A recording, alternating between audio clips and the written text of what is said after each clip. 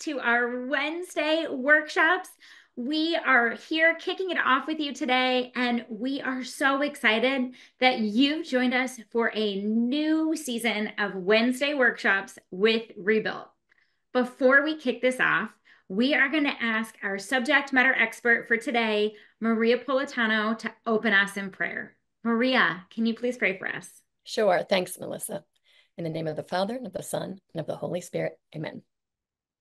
Heavenly Father, we come before you with hearts full of gratitude for the opportunity to gather as your servants from around the world, united by a common desire to build up your church. We thank you for the leaders here today who have answered the call to make their parishes places of worship, love, and community.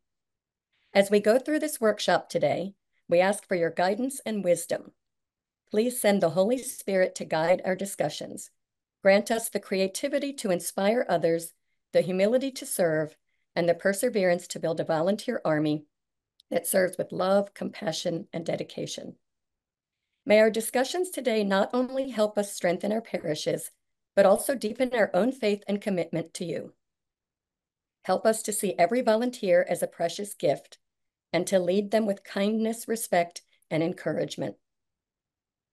As we embark on this journey today, we also pause to remember the anniversary of 9 11. We honor the memories of those who lost their lives and pray for the families and friends who continue to mourn that loss. Lord, grant them comfort and peace that surpasses all understanding. Please bless our time together today. We ask this in the name of your Son, Jesus Christ our Lord. Amen. In the name Amen. of the Father, Son, and Holy Spirit. Amen. Thank you so much, Maria. That was beautiful. Well, if this is your first time here, welcome. And if you've been here with us before, welcome back. We know it has been a few months since we took a break for summer, but we are excited that you're here. So let's do some introductions. So, first, we want to hear from you. We would love you to please drop in the chat your name, what parish you're from, and where your parish is. We love that we get parishes from all over the United States, but not just that, from all over the world. So let us know where in the world you're joining us from today. And if we've never met, my name is Melissa, and I'm a part of the Rebuilt team. And I'm so grateful that I get to be here with you on these workshops each week. So let's get some things started. Before we dive into the content, we've got some exciting things to share with you and that chat is going to be very busy today. So keep that open because Chrissy is going to be dropping all sorts of links with some exciting information. So, the first piece of information, I can't believe I get to be the one to tell you this. I'm really excited about it. But it is about the biggest rebuilt celebration of the year, and that is the Rebuilt Conference. So save the date right now for June 1st, 2nd, and 3rd. So join us for our Sunday experience. That is June 1st. And if you've never been to Nativity and you want to see what all of the fuss is all about, what all the hype is all about, you're going to want to come on that Sunday. We're going to have some tours and some exclusive opportunities that will only be available on that Sunday. The conference itself starts at 2 p.m. on Monday and ends at 5 on Tuesday. And I've got to tell you, we are planning some impactful breakout sessions, worship, and speakers. So plan on coming and getting your cup filled up. You are going to leave inspired and ready to take action to make your vision for your parish a reality. And do you want to hear the theme for this? Let's get a little drum roll going. So, the theme for this year's workshop is Can You Imagine? And it's going to be amazing. So if you're not on our insiders list yet, Chrissy is going to be dropping that link in the chat for you. Go ahead, take a take a quick click on that link and pop in your information so that you can be a part of that insiders list. So you can be the first to know when early bird registration starts and what our conference topics are going to be and all of that exciting information. So go ahead right now, click that, and then pop it into the chat and let us know once you've gotten on the list. So maybe just pop in there on the list or I'm an insider so that we can celebrate you and get excited that you'll be there. Okay. Oh, we've got people already on the list. I love it. Okay. Next thing that I'm so excited to share with you, and FYI, if you're new to workshops, we don't always have so many exciting things to tell you at the very beginning. This will probably be one of the only times we take time to, to chat through some of these exciting announcements. Um, so, the next thing I want to share with you is our podcast. So, I want to know if you have listened to our newly updated podcast yet can you pop that in the chat and let us know that you've listened? Because we want to know who is listening out there. Oh, Casey says, great podcast. Thank you. Okay. Oh, we've got people listening. This is exciting. So if you haven't, Chrissy is going to pop a link into the chat now to the podcast. Another way you can find it is to pop it into your phone, into your favorite podcast app, and look for Rebuilt Parish Podcast and hit subscribe. And if you are subscribed already, drop it in and let us know. If not, go ahead and click on one of those links and hit subscribe. You may not know that we are also on YouTube. So if you subscribe to our YouTube channel, you're not only going to get those updates as soon as the podcast drops every week, but you're going to get our workshop replays there as well. So let's just say maybe you're new to podcast or maybe you're new to the workshops. Don't worry, you can go back and watch any of last year's workshops right on our workshop playlist. So we want to make sure that all of you are getting access to all of that. Um, so make sure though to share these links with your teams and with your neighboring parishes because we want to make sure that everyone you know can be empowered by these strategies, success stories, and ideas that we're sharing on these each week. So here's how it works every month, we pick a topic and we dive into it. So this month, for example, we are keeping with our theme of ministry, but you're going to get to hear so much more on the podcast. New episodes drop every Thursday. With every podcast series, we give you a tool to help you dig in and rebuild your parish. So, if you haven't subscribed, go ahead and hit that subscribe button now so you never miss an episode. And I have one more thing to ask. Do you want to help make disciples all over the world? Well, here's one way you can help to do that. If you've listened to the podcast, or if you haven't yet, once you do, could you please leave us a review? When you do that, it helps other parish leaders find our podcast too, so that they can also help make disciples.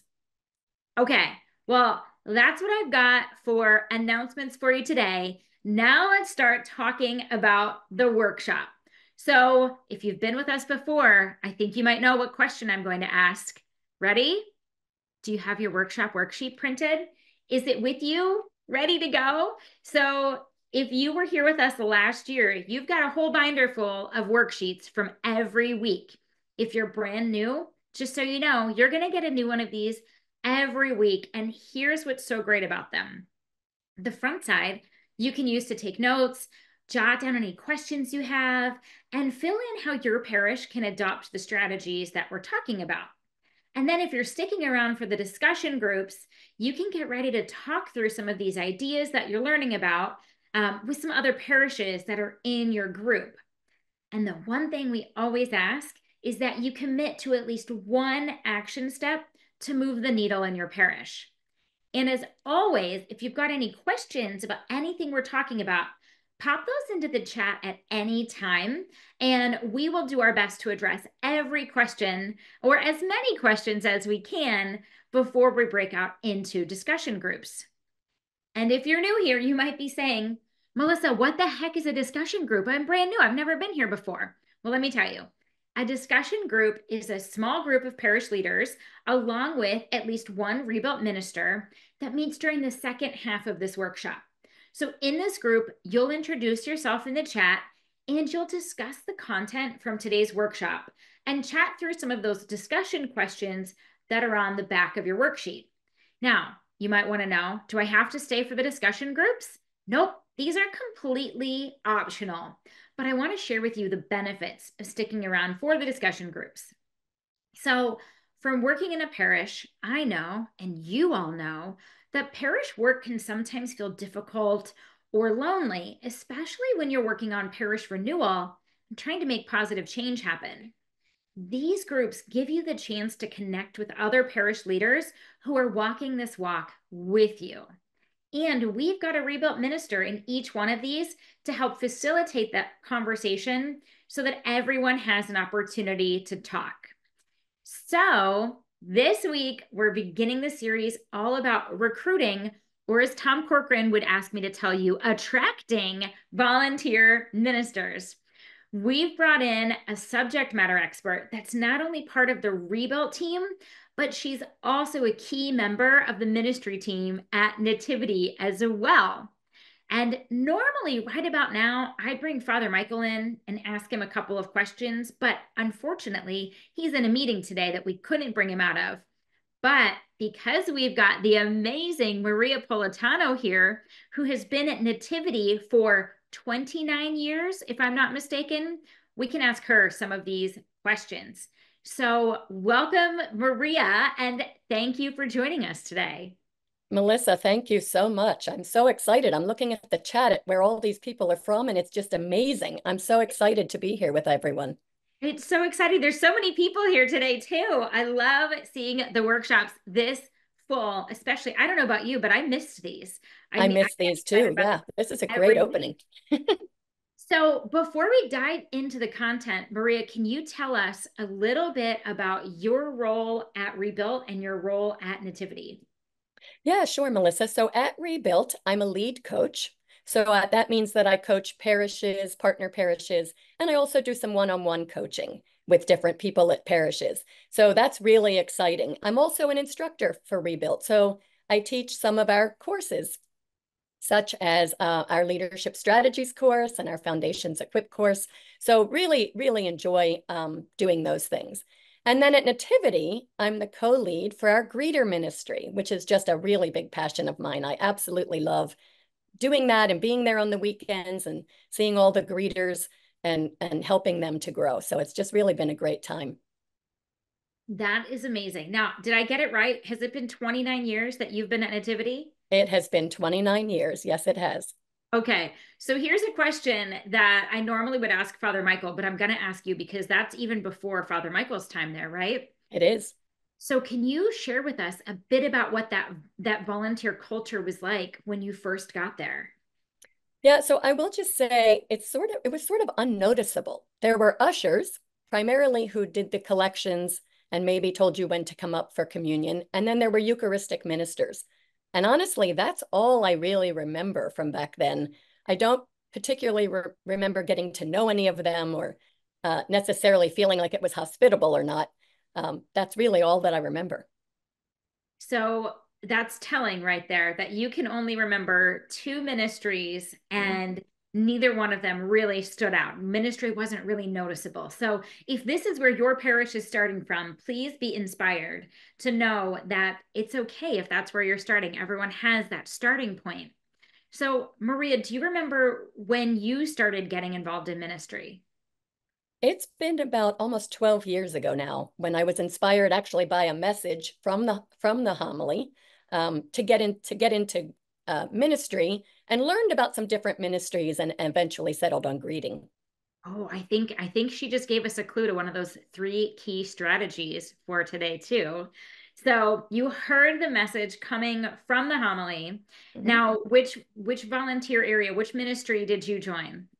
So I joined the greeters, but I actually tried out. We had at the time, uh, our welcome desk was an information desk back then. I actually also tried that out at the time. We had a we had a program where you could try different ministries before you picked one. Oh, I love that idea. So you started out with just two ministries that you could recognize. Then things kind of changed a little bit where more volunteer ministries were being introduced. You could try some out. So from 29 years ago to today, how many volunteer ministers are at Nativity right now? So, Nativity currently has 1,300 active volunteer ministers. And that does not include our small group leaders or our missions folks. That's just the active volunteers on campus. That is incredible. 1300. So again, I want everyone here to be inspired to know that you can start with the bare minimum and it is possible to make those moves. So that's amazing. Now, let's talk about so 1300 people. Why is it so imp- important to build a volunteer army like that, an army of volunteers to, to help serve in the parish? Why is that important? Yeah, so it's a good question, right? And a lot of our parishes here probably will, will understand this. If you have a small staff, building a volunteer army can help supplement what you don't have on your staff. Um, many parishes have a small staff, so this would really help them be able to fill some of those gaps that they have and take some of the burden off of some of the staff. It's also part of the discipleship path. So it's really helping people to grow deeper in their faith. I know my faith grew deeper when I joined ministry. It's amazing how much that can help you grow deeper. It's also part of our mission is to make disciples that help make other disciples. So by serving, you can help make other disciples and help others grow in their faith. And then we just want to remember too, Jesus came to serve, not to be served. So we really just want to follow in his footsteps. So this is another reason why sort of building that volunteer army is really important. For sure. And I know that there's so many parishes that are here today or watching on the replay that have a small staff. And so this can be encouraging to them that they don't have to do it all. In fact, they can't do it all. This is how we burn out in parish life by not having enough volunteer ministers to help serve. So I hope that this is inspiring to you as you're hearing this. Now, is every parish out there going to get 1,300? Well, no, it depends on your parish size, right, Maria? Right, exactly. It's really going to depend on how many people you have, but you could still get a large percentage of people Absolutely. to step into that role. Absolutely. So, Maria, we've got three key strategies today. Can you walk us through that first strategy? Yeah, so the first strategy is to actually identify who those strongest leaders are. That's really so, going to be important to you to sort of identify who, who you want to tap for leadership. And why? Why is it important to know who our leaders are? So, anytime you want to kick off something new, right? If you want to kick off, say, hospitality or a culture change in your parish, it's really important to find some people who can help you do that. Some people who are already um, in agreement with what you want to do, right? They understand the why and they understand what the next step should be, and they can help you create that really great weekend experience. And then they can also help you demonstrate what you're trying to achieve. So if you want to set a tone, this, they're the ones that are going to help you set that. But the other great thing about that is they can also help you sustain those ministries. So you can create leaders for those ministries. If you can identify who those leaders are, they can be the ones that help then grow the ministries. Oh, I love that. And we talk about building layers of leaders all the time. And that's so important, especially in these volunteer ministries. Now, Marie, I want to know how do I find these leaders? How are you identifying who the, your strong leaders are? Yeah, so Melissa, guess what? They're already in the pews, right? It's a matter of just getting to know them, getting to know the people who are there on the weekends. This is why it's so important for staff to be at the church on the weekend and getting to know people who are coming to church, building a relationship with them. So once you're able to do that, you're going to observe their behavior and you're going to be able to recognize who those leaders are. You're going to know by how they already act and what they already do and say. So it's going to be much easier for you to identify them. So where are you finding them though? So but that's what I so they're in the pews but where specifically can our parish leaders find them? So let's just say they start working on the weekends now. Where where do they look? Yeah, so Melissa, they can look in, well, first of all, other ministries. Sometimes people from one can move from one ministry to another, or sometimes they'll even add a ministry. Um, you can also observe them at parish functions and social functions at the parish. You can also get them from small groups. Small groups, in my small group, there were two of us that used to come to our small group meetings each week. And we would always tell stories about something that happened on the weekend. We were both serving in ministry, and we always had a great story about how someone was impacted.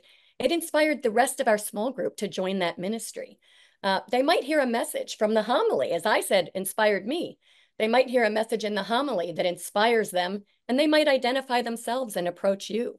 But you're going to be able to observe behaviors in just the natural course of things going on in your parish. Ah, that's so good.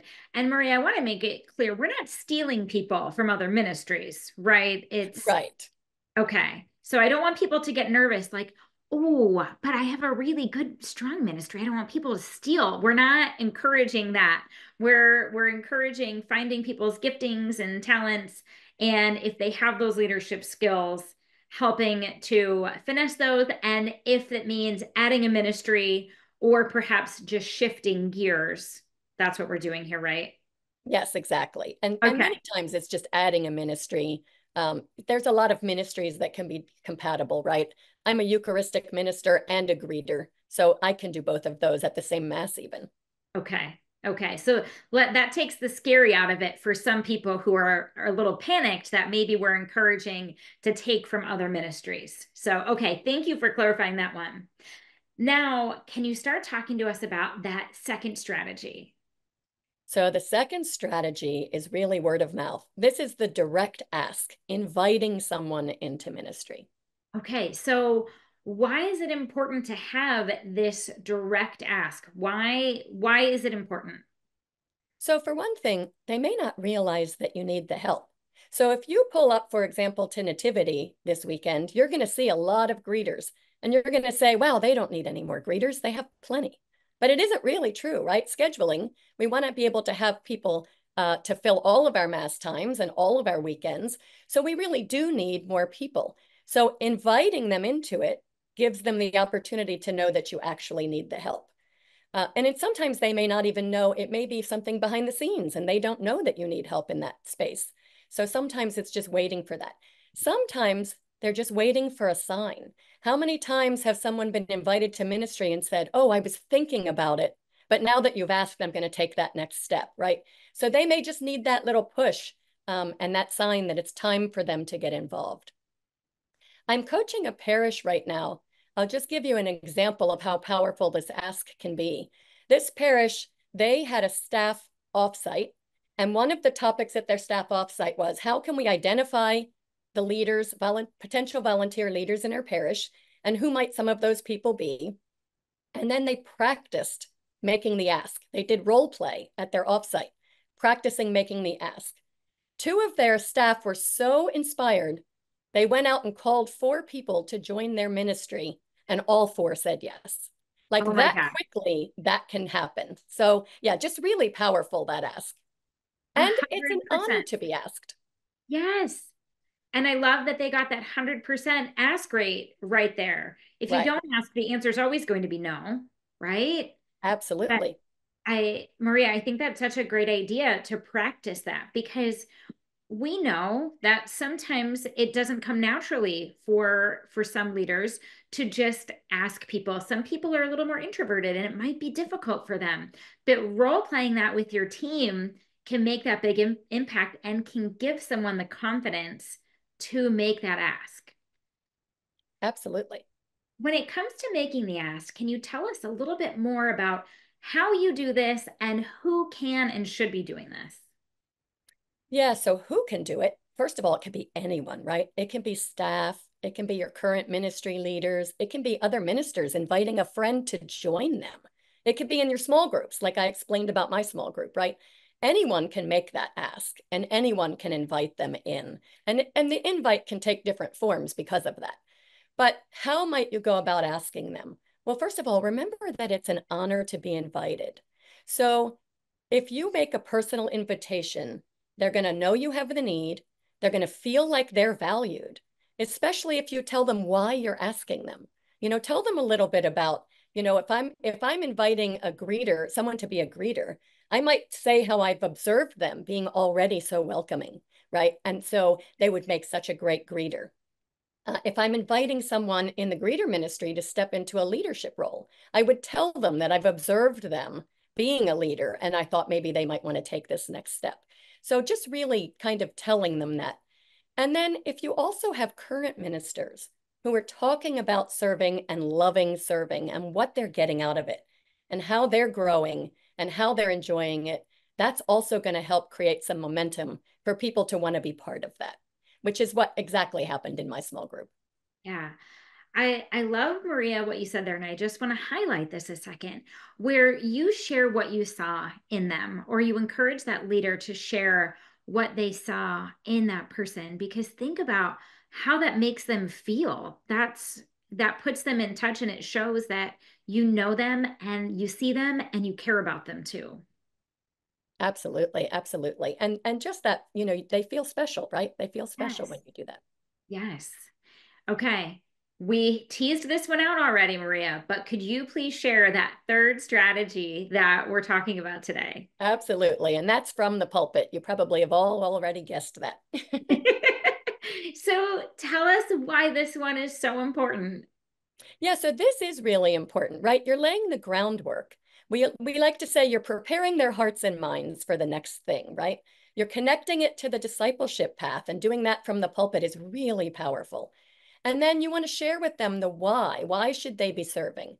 They may not recognize it as a discipleship step on all on their own. So you're helping them to realize that by taking that step, they're growing deeper in their faith. They may not see it as that. So you want to really help them make that connection and sort of understand what it's doing for them as well as for the as well as for the wider community. That's so good. And we know that whatever comes from the pulpit is going to be weighed heavily on the minds and hearts of those in the pews. So if you've got the pastor up there talking about just how important it is to be serving, that's something that they're going to think about. That's a little bit different. And Maria, I think it's so wise that you share this multifaceted invitation approach where you're asking directly, you're asking from the pulpit, you're encouraging leadership to get involved. I think all of this is so important because you're you're kind of covering all of your bases to help you build up this big team of volunteer ministers. That's amazing. And there's a lot of gifts and talents in your pews, right? So if you have a need for something, you may already have someone there that can help with that thing and you you just haven't identified them yet. Yes, for sure. Well, Maria, thank you so much. These strategies were great. And I hope everyone jotted down some great things. We do have a few questions in here. Um, so I'm going to ask you a couple of them so that way we have time to let everybody get into their discussion groups in a little bit. Um, so, Maria, I think we kind of probably thought this, we might get this one. 1,300 volunteers versus how many people on a typical weekend? So, how many people do you typically get at Nativity on the weekends? How many people attend Mass on the weekends? Um, I believe last weekend, maybe we had about, hmm, I feel like I saw that number and I'm trying to remember. It's probably between 2,500 and 3,000 people on a weekend that come to okay. Mass right okay. now. So the other question here, um, a lot of that is what percentage of volunteers is that in the parish? So, Maria, do we know about how many registered people we've got at Nativity? This is a good Brandon question. If Brandon this is a good Brandon question, yeah. I, um, I I'm not sure of the number myself, but I think it's you know 4,500 maybe families, um, something around that. So, but we could definitely get those answers. Brandon tracks it all. yes, he's he's oh Tracy's oh, here. Tracy, Tracy says about 25%. And you, Tracy, Tracy knows. and Tracy knows, yes. And side note, Tracy knows so much. She's in the podcast tomorrow. So if you subscribed, you're going to get to hear a ton from Tracy tomorrow. So, okay, we have another question here for you, Maria. How do you define a volunteer minister and active status? So active status, well, so we have all of our volunteer ministers go through a clearance process. Your diocese probably has a similar process. So we define an active volunteer as someone who has actively served in the last 12 months. So if we have we have plenty of people who are cleared, but maybe not still currently serving, or maybe taking a break from serving, or maybe they only serve at Christmas. And so we consider an active volunteer someone who has actively been serving in the last 12 months. Okay, that is helpful. Thank you. All right, we've got one more question that we've got time for today. So, and this is from James. James says, So you, of course, have several masses. Have you tried a greeter team leader for each mass to implement the strategies? Oh, I love this yeah. question because we do. So, uh, yeah, so we have co leads for the greeter ministry, but at every mass, we have what we call a shift director. So there is a leader for every mass. And we schedule them just like we do the greeters. So we have a pool of shift directors for each mass. We probably have about five different people who are a shift director for each of our masses. And so one of them gets scheduled each week. And then they go to the huddle beforehand and they sort of give the instructions if anything's changed that week. They sort of make sure all the greeters know their role based on the position that they're in. So, yeah, it's a really great leadership team that we have that we've built because of that. So great question and a great idea to have someone to do that for you. Absolutely. And we talk about those layers of leaders, and that's where it is so important. Um, having the co leads and then the shift leaders. And that's huge. And in fact, Tracy talks a little bit about that as well in the podcast. Um, all right, we're unfortunately about out of time for questions. So if you asked us a question, don't worry, we will address it this season of the series of the workshop. Maria, do you have any final thoughts for us on um, recruiting volunteer ministers before we break into our discussion groups? Yeah, the only thing I would say is don't be afraid to try. Don't be afraid to make that ask. A lot of people sort of hesitate and they don't want to maybe make that ask, but I think you'll be surprised at the results. So that would be my best advice is give it a try and make that ask of someone and see what happens. Amazing. Well, Maria, thank you so much for everything today. We appreciate you and we will see you very soon. And now, everyone, we're about to break into our discussion groups and we're going to talk about recruiting volunteer ministers even further. So while you're in this group, go ahead and fill out anything in your worksheet that you haven't completed yet and share your results with the other leaders in your group. We know that having a supportive community is so important. And the great thing about these small discussion groups is that you get to learn and connect with other leaders. And if you're catching us on the replay, we hope you're able to join us live next week.